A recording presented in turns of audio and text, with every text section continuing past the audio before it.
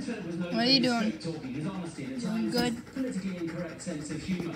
He was a military man, one of the last Good. remaining World War II veterans in the UK, and he embodied the values of the wartime Spooky. generation. What are you Many doing? people have been waiting to hear What are you watching? will be coming. He is coming, but Meghan Markle will stay in Oh. America uh, due to Oh. uh, the fact that she is pregnant, expecting their baby in the summer.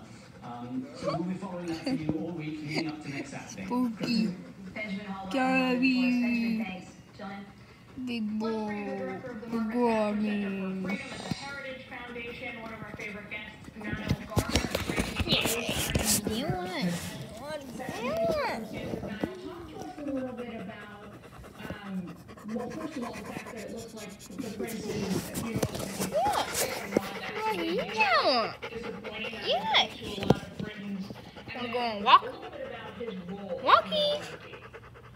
Yes, well, thank you very much. He doesn't care. He's just gonna sit on this couch, be lazy all day.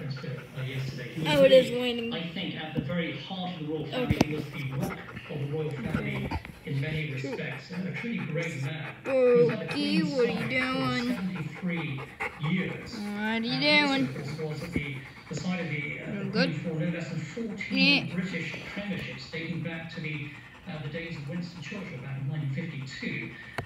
And also, Yeah. he was a, a tremendous uh, war hero during World War II, as mentioned in dispatches. He fought uh, in World War several uh, major